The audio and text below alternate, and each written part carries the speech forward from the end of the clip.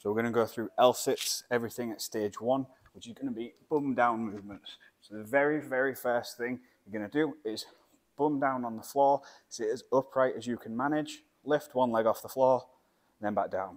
So that's a single leg hold, nice and simple.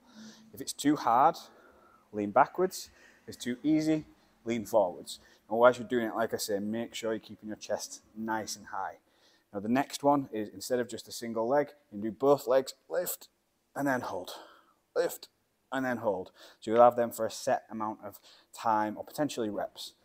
Next one is going to be an L-sit flutter. So again, if you lean back, that'll make it uh, easier.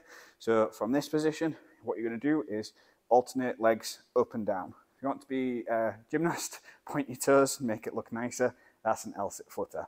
Obviously lean forwards if you want to make it harder. And then finally, we have an L-sit abduction. Now, if you've got something that you can use as like a marker, that's fantastic. So I've got the pegboard handles there. Now you don't have to do this. I just like things to be objective. And abduction is you're going to go up, out, over, and up, in. Dead simple, like that. You've got something like this. You use dumbbells, plates, whatever. That just makes it easier to uh, make sure you know what you're doing. So they're all bummed down.